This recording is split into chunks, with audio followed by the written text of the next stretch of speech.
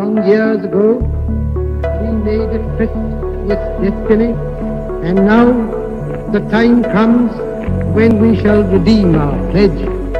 A moment comes, which comes but rarely in history, when we step out from the old to the new.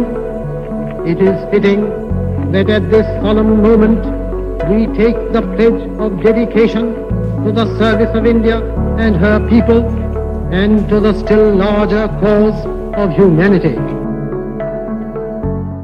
Hello, everyone, and welcome to India Colonized, a podcast dedicated to South Asia's modern and contemporary history. I'm your co host Ritika Chauhan, and you're listening to Guftagu, a special series where we discuss and engage with varied authors and scholars of South Asian history. In this episode of Guftagu, we have with us Riaz Dean, author of the book Mapping the Great Game Explorers, Spies, and Maps in 19th Century Asia.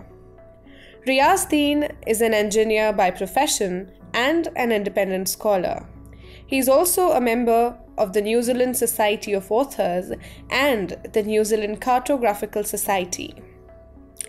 As the title suggests, this book is about the extraordinary explorers, spies, and map makers who explored the vast regions of Asia against the backdrop of imperial ambitions of powerful players like Russia and Great Britain then. This expedition was at the surface to fill in large portions of the map while spying out the countries for military reasons during the so called Great Game. Set in four parts and arranged chronologically with five informative maps, this book expands on the relevant political intricacies and the roles played by some adventurous young people like William Moorcroft, William Lambton and his team of cartographers, George Everest, and the pundits employed by the Survey of India in undertaking this great test survey.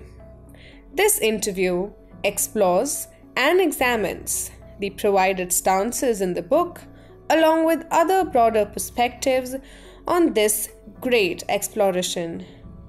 Here's the conversation with Riaz Dean. Hello and welcome, Riaz, to India Colonized, a podcast uh, on colonial India and, and modern India. So it, it was absolutely fun engaging with your book. Um, so before we get into discussing your book, a couple of uh, biographical questions. To start with, uh, can you tell us a bit about yourself, um, a bit about your intellectual journey, and uh, the people or the books that have influenced you to write the book? Mm, okay. Well, thanks for that, Omar. And um, uh, a very big hello to um, to all your listeners wherever you are. Um, I'm sitting here in New Zealand um, and, and have lived here now for seven years. Um, so that hasn't always been my home. Um, I was actually born and raised in, in the Fiji Islands, um, which are small islands in the in the South Pacific and regionally very close to Australia and New Zealand. So I guess the other the, the other thing of note is that I'm of Indian origin. And, um, you know, I think part of the huge Indian diaspora that during the late 1800s and early 1900s, you know, left India. In our case, um, my forefathers left to as indentured laborers to work the sugarcane fields in Fiji. And um, and so we've been in Fiji for many generations. And to be honest, I have no family links in India as such. But uh, yeah, so I grew up and did did um, my high schooling in, in Fiji and then came to New Zealand to actually study chemical engineering.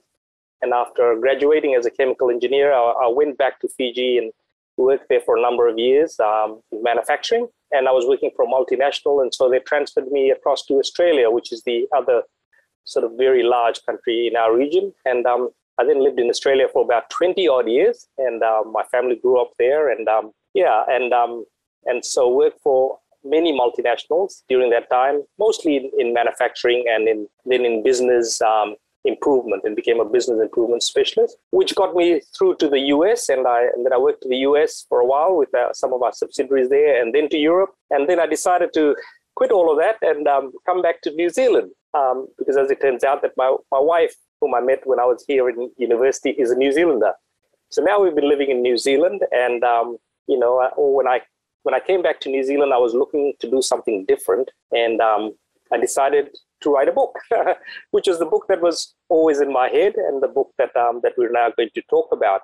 And and and I guess um, maybe to add to that, it took me the first year, took a year off, and um, and worked on that sort of full time, learning to write and learning to research. Um, I came very late to writing and research, you know, when I was in my mid 50s. Um, and then, um, then I started working part time in New Zealand while I continued researching the book and, and finishing it, and which was published in, in late 2019. So here we are.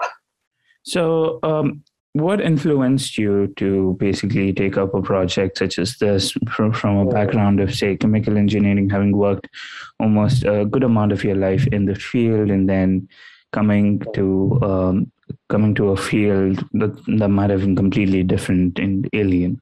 Yes completely different is right over. Um, so i guess i've always loved books and i've always read a lot. In fact everybody in my family read a lot. And then um, later on i started to realize that I have a real um, interest and fascination for exploration and writings about exploration, and particularly about the exploration and mapping of Asia during the 19th century. And um, so, one of the things I started to do was I started to collect a lot of old books and maps, particularly of Central Asia and of India. And one of the things I did um, a little while ago, I mean, other than other than having backpacked through all of India for about three months when I'd finished university, and I started in what was then the city of Chen, uh, Madras, now Chennai, and worked my way all the way up to Kashmir and, um, you know, and really loved India. Um, then later on, I backpacked the Silk Road. So I started in Istanbul and worked my way through all the different countries, including all the stans, you know, Turkmenistan, Kyrgyzstan, Kazakhstan, down through Afghanistan, and then into China. And so I really got to see a lot of Central Asia, and I got to see a lot of the area that my current book is based and including what is known as the roof of the world, uh, which is the Pamirs and the Hindu Kush. Um, given my love for books, and I was collecting a lot of books on, on, on, on the exploration and mapping of Central Asia and India, I thought, well, I had this story in my head. And, and mm. if, when you ask me the question, what were the books that influenced me? Well, there was a book um, called The Pundits, which I read. Um, it was actually published in Kentucky, and I happened to be living and working in Kentucky in the US. And I was fascinated by that book. And I was fascinated by these native Indian explorers called the Pundits. And by the way, they're not to be mistaken for the Kashmiri Pundits. These were the Pundits who worked for the Survey of India during the mid 1800s who helped explore and map the borders outside of India to the north, particularly Tibet, Afghanistan, and what was then Turkestan. So I read this book about the Pandits and I was just fascinated by them. But the other thing that really struck me was that they are so little known outside of um, India and then later on, I realized that even within India, it's, you know, they really can well be termed the sort of the classic unsung heroes of the British Raj. So I decided then to, to write that book. And so I started off with the pundits, and I realized that to write a book about the pundits, readers would not would not really appreciate all their work unless you wrote about the employer, the Survey of India. And because the Survey of India had mapped India and, and, and, and the countries to India's north, you know, that was that was something I really enjoyed as well. So I wanted to write about the mapping as well. But even even those two things weren't in themselves enough because to really appreciate what the pundits did, you had to understand what was the event that was the backdrop to what was happening, which was the great game. And so in the end, I wrote about those three things you know, I wrote about the pundits and the employers, the Survey of India, but within the context of the Great Game. And um, and so I wrote the book in four parts, of which you know two of the parts are with the Great Game starting and ending, and then about the pundits and about the Survey of India. So ho- hopefully that gives you a background. Yeah, definitely it does. So, um, could you tell our audience the themes of your book and what themes it uh, explores in general? Um, I, I, think I think there are a number of things. Um, the first, I think, if we start with the pundits, I really wanted to give or help give the pundits the recognition they deserve, not, o- not only within Indian readers, but outside as well too. And I make the make the point in my book that, um, for example, perhaps the person who was one of the greatest of the pundits, Nain Singh, um, you know, he won the gold medal of the Royal Geographic Society from London. And at the time, during the 1800s, which was really the age of exploration, you know, when explorers stood on a pedestal higher than almost anybody. Today, we, we think of, you know, sporting heroes, especially football stars, for example, or, you know, top tennis players or golfers. Well, in those days, explorers were were, were the people that, that Victorian age looked up to more than anybody else. And this was the age of, of Livingstone and Stanley and, and um, you know, and then later on people like Scott, the really great explorers. Well, Singh won the gold medal for the Royal Geographic Society, um, and yet he is barely mentioned in many books about the great explorers. Um, and so one of the things I tried to do with the book was to show, and, and, and I make the statement that, you know, when you take the pundits as a whole, and there were about there were about 25 pundits. Nobody really even knows how many there were because there were many that either either disappearing into obscurity, really um, were engaged and were killed before, before the you know the names were recorded. So what I tried to make the point was that uh, taken as a group, that those roughly 25 odd pundits you know, constitute the greatest group of explorers the world has seen. I'm not talking about individuals, I'm talking about as a group and there was no other group like them. If you look at the if you look at history um, especially during the during the 18th 19th century um, you know they, they, were a unique group. And so i tried to i tried to tell that story. So that's certainly one theme. The other theme then was really about the survey of india because what the survey of india achieved was was quite incredible. And particularly um, i talk about the great trigonometrical survey of india which again is little known be it india or around the world um, and when when the when the two East India Company officers, you know, who ran the Great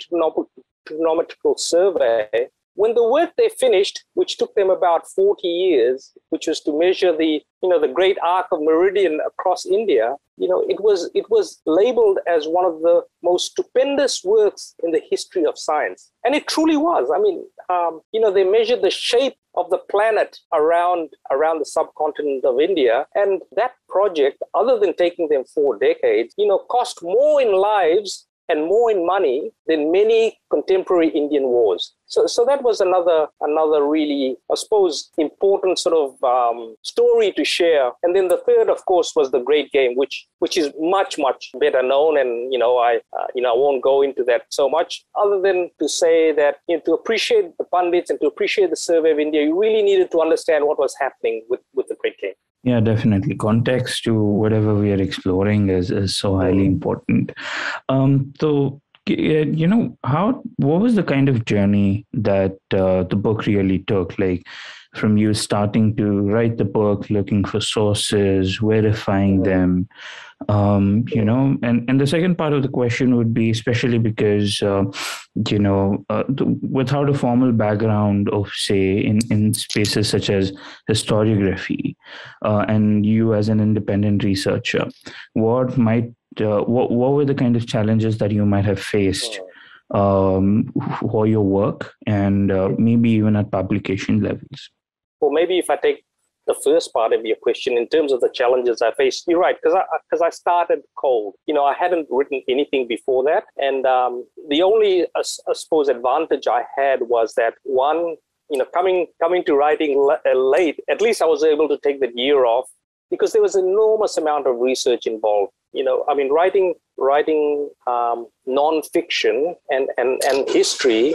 you know, is different from writing a fictional novel only in that there's an enormous amount of research involved. And, and so, I mean, of that one year that I spent full time, you know, two thirds of it would have been on research. The positive was also that because I had been collecting a lot of books and maps about Central Asia and India, you know, I, I already had a lot of the material. So yes to answer that question the other the other piece other than the research which i really loved i mean research is the best bit out of out, out of all all of it i had to teach myself how to write you know, I mean, I'd like to think that I had a little bit of talent to start with, but it took many iterations and, you know, and, and, and you know, there was help and, and, I, and I sought professional help in terms of getting manuscript assessments as well. And so all of that after my first year, the next three years, I, I, I spent refining the manuscript. But more importantly, to answer your second question in terms of the journey, was to try and find a publisher. And that is very difficult. I mean, anybody who's written a first book and has it published will know um,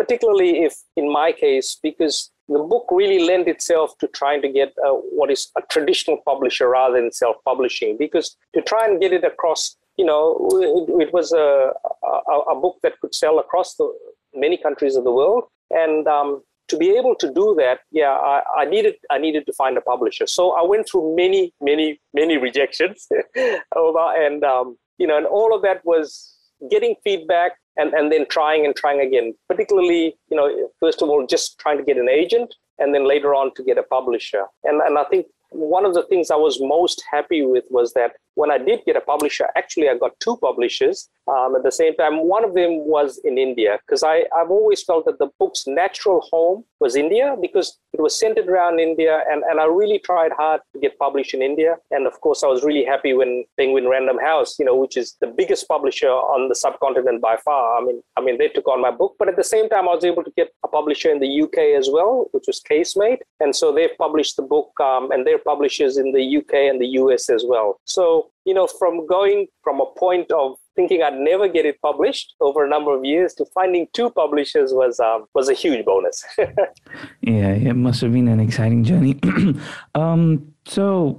Uh, you know coming outside as as i mentioned as an independent researcher um, what might have been your challenges that you felt were would have been different to your peers say who belong to the formal field of um, say historiography or uh, people who wrote about explorers per se well i think i um I thought a lot about where to pitch the book. And one of the things I came to sort of early on, and, and, and it's something that, you know, you need, you need to sort out early on, was who was my target audience. And, and I realized that I wanted to write popular history and not an academic piece of work because well one you know I'm, I'm not an academic myself but more in terms of trying to tell the story about the pundits and and about about for example the great um, trigonometrical survey of India. These I thought were really popular topics that could be popular topics, you know, that were very forgotten. So the book is, is non-fiction and historical, but really targeted at the general reader, you know, as popular history, which, which I, by the way, found very satisfying also. All right, that's wonderful. Um, so one of the questions that we usually ask is like uh, most of the authors tend to continue their research after having published the books and uh, you know they they do find something quite intriguing and interesting later on after the book has been published. Uh, has there been any such journey for you where you find something uh, even more interesting that you wish was part of your book? Or you know uh, was probably not maybe due to publication restrictions or anything of that sort uh, that's that's an interesting question. Um, I think perhaps the only um, thing that I, I, I, I, would have liked to do was maybe to have expanded more on topics like the pundits. You know, because I spoke about really a handful of pundits maybe three important ones, but they, you know, they were roughly about 25 odd. And I would have really liked to talk a lot more about the lesser known pundits. And at some one day, perhaps I'll I'd love to write a book about the lesser known pundits. But I think with any of these books, you know, because I was writing for popular history and I had a very clear target audience in my mind, that also determined the length of the book. And I realized that, you know, I mean, for, for a popular history and for the general reader, anything more than about 300 pages was going to be too much. So it really meant I had to try and prioritize. Um, and um, yeah, so I guess um, in a way, my, my, my regret is not being able to, to write more. And maybe a second book then. so, um, so could you tell um, the audience a bit about uh, the coinage of the word, the Great Game, and uh, give a little background for those who are not aware of the Great Game? Hmm. Okay. So the Great Game was was an event in a way in history, which was played out really during the 1800s. And what what, what it was about was Imperial Russia and Great Britain about their rivalry over the influence of Central Asia. And, and it was, I suppose, more than rivalry because in that time, Imperial Russia kept expanding and expanding its territory and gobbling up what was really known as Western Turkestan at the time. The countries today that are Uzbekistan and Tajikistan and Kazakhstan and Kyrgyzstan. And they took over that western part of Turkestan and called it Russian Turkestan. The British, for their part, you know, their jewel in the crown was India, and, and at all costs they would they would protect India, who's you know whose um, the revenue from from which was just huge for the British British economy. Um, and and so the, Britain was always worried that that the ultimate aim of Imperial Russia was not only to take over Western Turkestan, but then take Afghanistan and ultimately the, the main prize being India. Whether that's true or not is um, is debated in the book. But so that's what that's what the Great Game was about was the strategic rivalry for Central Asia and possibly for India. So the way the way that the term or the phrase the great game came about. Well was was a, a, captain called arthur connolly was writing in 1840 and in a letter he um, he sort of lamented um, to his friend that he would also like to be part of this this this sort of um, political adventure in a way. And and he called it you know he said you're part of a great game a noble game. And and and, and those words the great game that's the earliest it can almost be traced back. Now as it turned out um, there was a very famous book written by rudyard kipling um, called kim which is perhaps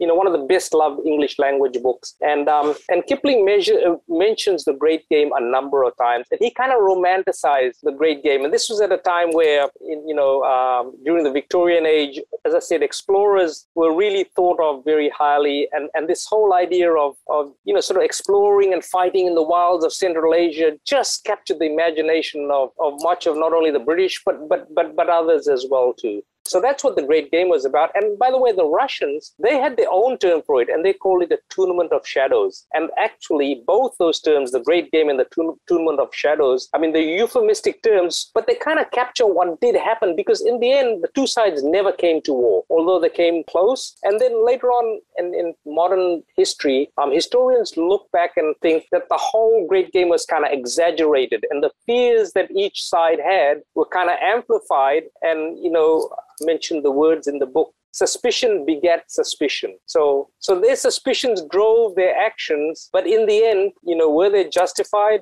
Well history judges that um, you know differently um, all right.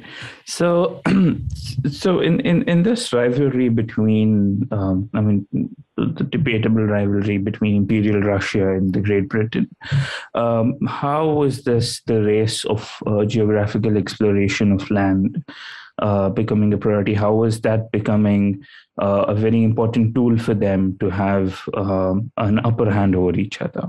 Yes, that's that's a that's a great question, and and that that question really um, links the Great Game with the whole piece of the mapping of Central Asia. Because I use a line in my book that you know the first need of an army in a strange land is a reliable map. And in the 1800s, you know, for example, even though the British knew and had mapped within India, all areas like just outside their borders, Afghanistan, Tibet, um, Turkmenistan, Turkestan, these were just uncharted areas. And yet, you know, once the Great Game got underway, there was Russia um, not only exerting influence over these areas, but then ultimately, you know, annexing them as well too. And so there was this, this massive need immediately for maps because they believed that they would, for example, go to war. And yet, even on, on the borders of, of India, um, which was Afghanistan at the time, um, they knew so little about the country and it wasn't mapped. And also, those countries would not allow the, the, the British, particularly um, Christian Europeans, into, for example, Muslim lands or the Tibetans, for example, wouldn't allow them, you know, in, into their areas as well too. And and if if explorers or map makers came through, they were just killed out of hand. So, so, so this whole piece around maps integral towards the great game and, and, and, and, and, and the war that both sides believe was sort of inevitable. So, so these men who went on behalf of on behalf of, of the two um, great empires. So, tell us a bit about the men. These what do you call as uh, freely driven administrative uh, scientists who go along with the Great Trigonometrical Survey. and what was this Great Trigonometrical Survey? Right. And the entire thing about mapping the subcontinent and the area surrounding. Yes. So, you know, I, I um, talked about the first need of an army is a reliable map. But within the borders of India, this was not a strange land to the British. So the British needed to map India for a different reason. Um, and that was because they had this territory that they had to define and defend and exploit. And so, the, so there were three surveys that that the British started as part of what became the Survey of India. And the first and the most important one was the Revenue Survey, because the British wanted to tax Indian landowners, right? And you can't tax people for the size of their land holdings and, and, and, and, they, and they produce in terms of the crops that came out of it until you had surveyed the land and knew, for example, the size of land. So there were three surveys that were conducted within India, but the first and the most important one was the revenue survey. And so they needed surveys to be able to do that. There were two other surveys then. The second survey was the topographical survey, which was really around mapping the rivers and streams and settlements on a normal sized map. And that was fine as well. But to be able to map all of India, you needed you needed another survey that sat over those two, and this was the trigonometrical survey. And in time, it became known as the GTS or the Great Trigonometrical Survey. And what it did was map India incredibly accurately. In fact, during that time in the mid 1800s, India was one of the most well mapped countries in the world, you know, following, say, Great Britain and France. And it was because the East India Company had brought British officers across um, who were military officers, and, and they started the the mapping of India, particularly through the Great Trigonometrical Survey. And what they did was measure the overall size of India um, and, and, and all the major points rather than worrying about the settlements and the roads and at that level, or for the revenue survey, which was even more detailed by landholding. So, as an example, when the, when the peninsula of India was mapped, starting from what was then Madras, now Chennai, and when it was mapped across across the Deccan Plateau to the other side, the British realized that the peninsula was 40 miles narrower than what they believed. And, you know, and one, of the sort of the funniest sides of that was that they believed they'd lost 10,000 square miles of, of, of territory overnight that they couldn't tax anymore because the peninsula wasn't so wide. But you can just imagine, for example, um, having a map where it's, it's that inaccurate. How then can you start to fit into that accurately, you know, a, a, topographical survey, which which is by states and by kingdoms, leave alone getting down to by landholding. So, um, while these um, um, uh, people who were carrying out this um, great trigonometrical survey, can you tell us a bit about these individuals? Maybe a brief story about uh, around these individuals for our audience.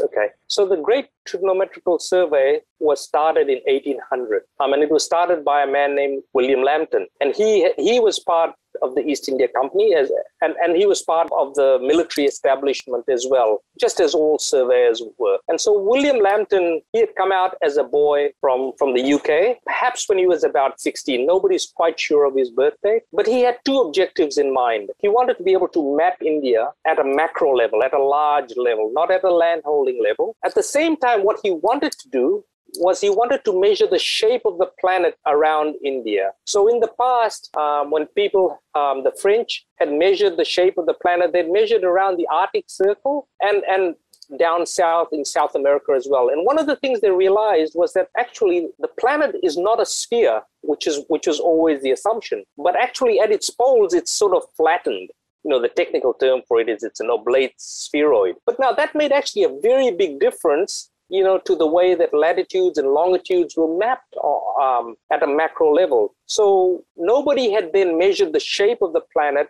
around the tropics. And, and this is what Lambton tried to do. And of course, India, being a large landmass and long and sort of and narrow in relatively speaking, he thought he could measure that shape in India. So he put a proposal to, to the East India Company at the time, but he realized that if he talked about measuring the shape of the planet, which is called geodesy, that he doubted if it would get approved. So he focused more on look, saying, look, I want to measure, I want to survey India at a macro level, which is at a trigonometrical level.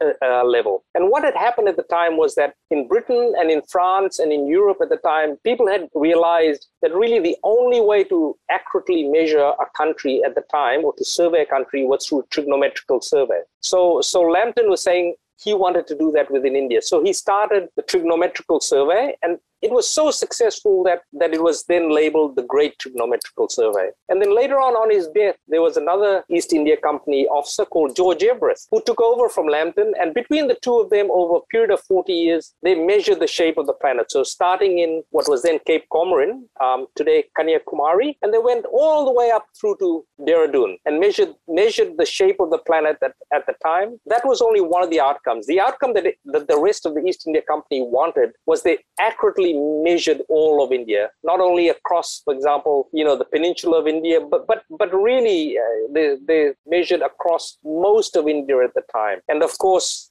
at that time, as I said, um, when it was when the when that was finished, which was called the Great Arc, the Great Meridian Arc, um, it was labeled as one of the most stupendous works in the whole history of science. And it really was something. And today, um, one of those people, you know, is perpetually remembered in the mountain, Mount Everest, um, which was George Everest. And just as an aside uh, um, to mention, as I do in the book, he actually, his name was not pronounced Everest at all. It was Everest. And George would never allow anybody to call him Everest. Um, and yet today, people, people know the mountain. Anywhere in the world, they know the mountain they still mispronounce it, and yet most people have no idea of the man who, who achieved that single honor. That's that's amazing. I actually wanted to go down and, uh, if we do have time, explore. Uh, I would like you to talk a bit about uh, the life of uh, George Everest and his, uh, you know, especially around the story of the Mount Everest. Uh, yes. But before we we go, something a little more intriguing. I think the most intriguing part of your book. if you can tell our audience about the pundits.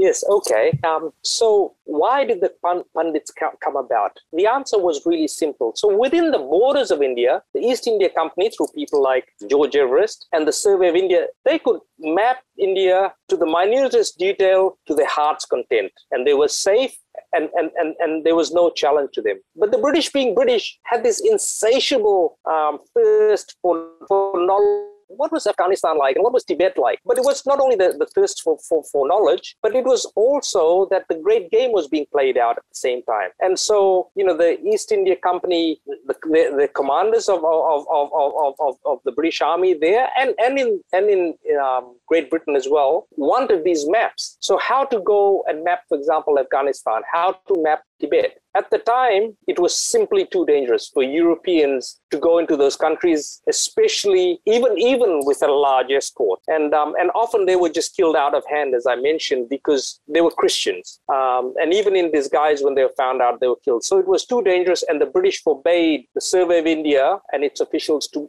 to map outside. So then there was a, there was a captain in the Survey of India called Thomas Montgomerie. And when he was mapping Kashmir, he noticed that there was a lot of Indian traders who would actually were able to freely cross into Tibet, even though Tibet was supposedly forbidden. And and these these people were the Bhotias who, who lived in the who were the hills people who lived on the border between India and um, and Tibet, for example, and the same around India and Nepal. And so he had this idea. Well, he thought, well, if they can if they can cross the border freely to trade, what if we were able to train some of these men to secretly survey the country and bring back the data that we could then, at the Survey of India headquarters in Dehradun, we we could then create these maps. And so that's how the pundits were born. And um, you know, so what happened was that really, in a way, there were two groups of pundits. There were a number of Muslim pundits who really went to the Muslim areas of, of Afghanistan and um, you know Persia, and then also into Turkmenistan, Turk, Turkestan, sorry, as well. You know, um, and these were all sort of Muslim Muslim areas, and um, and and they were relatively safe from that perspective as well. Whereas there was a, there was a, a number of Hindu pundits as well, and these were the Bhotias who came from what is today, and forgive my pronunciation, but it's Kumaon and Gwar, Guarlal, um, those areas of northern India, and these were Bhotias, and so they were they were um, Hindus and, and and and and sometimes Buddhists as well, and they were able to go into Tibet, and Tibet was the great unknown. It was, and particularly Lhasa. So many people had tried to get to Lhasa. It was the ultimate prize in a way. It was the forbidden city, and Tibetans and the Tibetan border guards, you know, were absolutely adamant they would let nobody in to Lhasa. So the pundits were able to do that, and then to map all the way through across Tibet and almost into China as well. So, um, if you could tell us about, uh, if, if, time permits, a, a brief story about uh, one of the pundits that you think our audience might like uh, to have, you know, heard as a highlight. As a highlight. Well, I'll, I'll, I'll tell you about one of the pundits who was actually one, perhaps one of the lesser known pundits, and his name was Kintup. And so Kintup was illiterate. And so, unlike the other pundits, he was never trained as a pundit um, to begin with. And for example, he could not take measurements and and he could not well he, he was basically he couldn't he couldn't write and make notes and so he was sent as an assistant to another pandit and they went into tibet to complete a survey that some pundits prior to them had completed. And um, what happened was the, the pundit who was who, was in charge, who was a lama, actually sold Kintup into slavery when they were in Tibet. And so so Kintup was a, was really um, enslaved for a number of months. When he finally found freedom, instead of making a dash back for home, he decided to continue the mission that they were given. And so the, the key mission that they had at the time was that there was this great mystery around the Tsangpo River, which was the main river of Tibet, and the Brahmaputra. And the question was, did the Tsangpo flow into the Brahmaputra and were they the one and same rivers? Or for example, did the Tsangpo, when it came around Tibet, did it go into, for example, the Irrawaddy River and through Burma? Or did it go through the Salween? Or even did it go into China?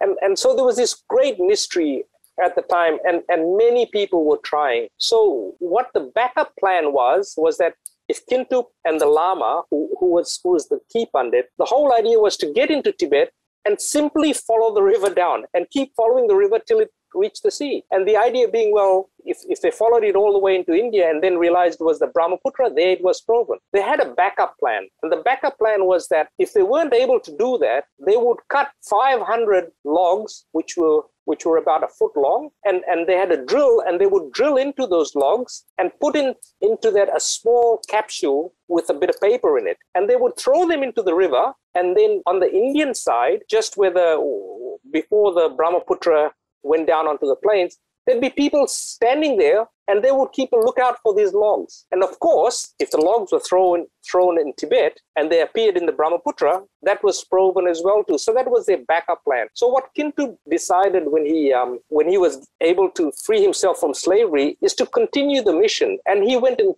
he went and cut 500 logs, sent a message to the um, to the powers that be in, in, in the survey of India that on a particular day, I'm going to start putting these logs into the river. And please keep a watch for it. Now you have to imagine from the time Kintup and the Lama started out, we're now talking about three years later, perhaps. And of course, in that time, the Survey of India had given up, waiting, waiting even for the backup plan of the logs to do. Kintup didn't know any of this, and he was illiterate as well too. Yet he was so dedicated that after getting that message to the Survey of India, which by the way, the message never even re- reached reached the the um, the captain who, who was who was actually um, running these these agents in a way because he had long ago left and gone back to um, Great Britain where he actually died. Kintup actually threw those 500 logs in and then made his way back to India. And when he came back, it was four years later. And um, and his dedication was, I think, really one of the highlights of not only the book but of but of the pundits themselves. So did the logs reach the Brahmaputra? The logs did because because um, obviously they were the, the one and same river, but there was nobody there to see it happen. So oh. in a way, the backup plan didn't work either. And so when when um, Kintup came back, the question in a way was still not quite answered. By that stage, there were other explorers that were happening, and, and it was close to proven then. And this was mm. almost, in a way, the final proof. And in a way, they were unsuccessful. But to me, the highlight is the dedication of the man. Absolutely. So a question around uh, the great game and and what you call the tyranny of distance. Uh, while all of this was happening uh, with the exploration, uh, you discuss some of the hurdles with communications between London and Calcutta, and uh, if you can highlight a bit about how um, that was. And uh, one of the other questions is. Um, given if that kind of given the technology that we have today um, you know this is this is uh, probably a little outside the uh, purview of the book but given the technology of the, today we have how has um, cartography and exploration changed magnanimously over, say, these past uh, hundred years. Um, that that probably has you know how, how is it completely transformed? Yeah, um, yeah. If you could highlight a bit about that. Mm. Okay, well, well, to start with, you know, in the 1800s, um, to get a message from from Great Britain to India and to get a reply back could take almost two years because it all depended upon the monsoons you know and the sailing the sailing of of, of, of ships and getting a reply back and the whole vagaries of sailing at the time so, so what happened then and, and and this isn't not only my book but but but affected you know the whole administration of india was that you know the east india company officials who were based in india had to make decisions themselves. And, and, and once those decisions were made, often they were, they could not be changed. For example, they would go to war, you know, with, with, with, with Indian kingdoms. And, and, and given that it took a reply roughly two years, well, you know, it was all done and dusted um, um, before that happened. So they had great powers those officials within India. About, I think it was 1869, when the Suez Canal was opened, suddenly instead of taking, you know, um, over a year to maybe two years, you know, you, you could get a sailing within two months. And so, so as these times were shortened, the government, the government in Great Britain had much greater control about what was happening in India. And then soon after that, once a submarine cable was linked, you know, and basically there was a telegraph. Well, it was a matter of minutes. So the so the result of all of that was that Great Britain, which you know in that time India was obviously becoming you know more and more the jewel in its crown, and and and more and more was um, Britain dependent on on the wealth generated from it. You know, they had a much greater say now as well in India, and and and and after that, you know, it was a matter of once the telegraph was in and the submarine link was in, well, well, then they had much more control. To answer your your other question, well, you know, just as I suppose, just as in you know the need of an army in a strange land is a map, you know, people will say the need in in in in governance and warfare is communications. You know, communications is is is critical, and today, you know, those communications happen through um, satellites and and and global positioning systems, etc., etc. I think all of that does is just you know, whereas whereas a hundred years ago, you know, the months counted now the seconds count, you know, in terms of decisions made or, or actions taken. Absolutely. Um, so before we um, end up the conversation, a couple of questions about, um, you know, uh, what are we looking forward as for your next work? As do you have any current projects that you're working on? Uh, any project that we are looking forward to for publication? Yes, actually, yes. And um, my next book will be published in February next year. So, uh, so I'm very close to it now. And um, yeah, and um, so just trying to finalize a publisher in the US and UK. But but we already have Penguin Random House um, in India who, who published the book. And the book is about the Silk Road. If you recall, I, I said early on, um, one of the things I did was was was backpack the Silk Road from Istanbul through to Xi'an um, some years ago. And so really it's it's one of my other passions other than around exploration and mapping around Central Asia is also about the Silk Road, and so this book is about about the Silk Road. All right, that that's great. Um, so one of the questions that we usually ask at the conclusion of our interview is, uh, you know, you come from a background of independent research, um, and uh, we would like, uh, if if there are people in our audience who would like to know about, uh, what would you suggest for someone who's coming from a field that is um, you know, who have not been part of the traditional school mm. of uh, research or writing, or, or, in a way who've not had a background, but who are really keenly interested as a passion um, to work in, say, history or to writing a book um, that includes a good amount of research. What would you suggest to people like that? Where should they start? And, uh, you know, what shouldn't they be discouraged by? Yeah, well, to take that, that last piece first, yes, I, I don't think you need to be discouraged. I think if you have a passion for a topic, as long as you, you know, you're just a reasonably intelligent person, and I think most of us are, I think independent research is nowhere near as hard as what it may seem from afar. And I think once you start to apply yourself to a specialist area, I was also very pleasantly surprised how quickly um, I was able to um, really understand the history and, and, and, and, and the technicalities around that. I think I would say the, the greatest thing I would say is to read and read a lot about the area that you want to specialize in. Because only through reading and understanding from one book to another you know looking at the references at the end of one book and, and understanding and then finding the others can you push ahead? I mean it is so much easier now with you know with the internet being as good as it is. And so for example i mean one example is you know the whole academia.edu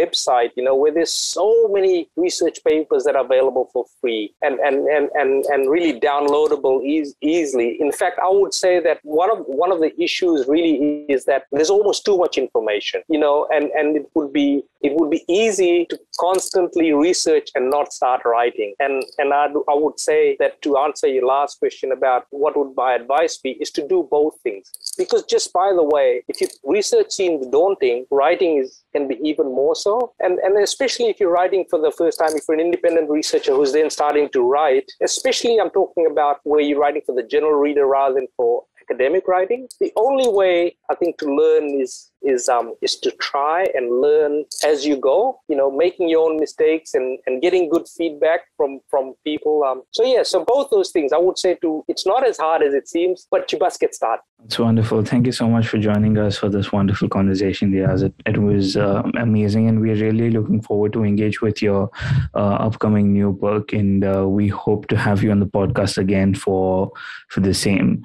Um, before um, uh, there's there's a question that I forgot to ask was uh, about uh, what do you think might be one of the key relevances of your work um, in our current world, and you know why do you think is it important for us to engage um, with such an understanding uh, of, of how uh, it is important for um, cartography mapping of a certain land mm. and, and history in general. Why do you think mm. uh, your, yeah. book, your book has relevance? Mm. Yeah. Well, I, I think if I I'll just look at the great game is is is just such a um, it's such a topical example. You know, um, the British invaded Afghanistan, fought three wars there. You know, um, with really unhappy endings, and yet we didn't learn from that when you know the Russians then went in and and and look what's happened in the last few months. You know, I mean, after uh, uh alliance, you know, led by the U.S. have now left Afghanistan yet again. So the third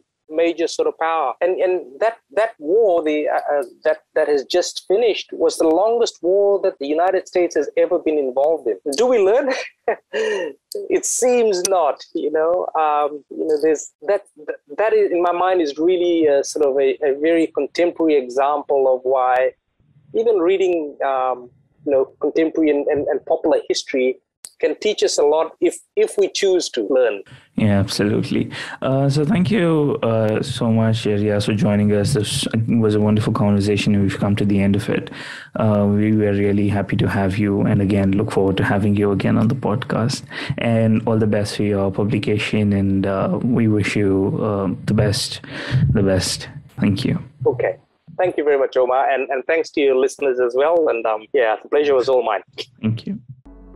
Thank you, everyone, for tuning into this conversation with Riaz Dean. We really hope you enjoyed this, and if you did, please consider subscribing to our channel and podcast for more such amazing content. There's a series of such amazingly curated interactions with authors and scholars on the history of the subcontinent. Check out our website www.indiacolonised.com for more blogs and podcasts exploring the tales of India's contemporary history. Do follow us on our social media sites for more exciting updates. Until next time, stay safe and stay curious.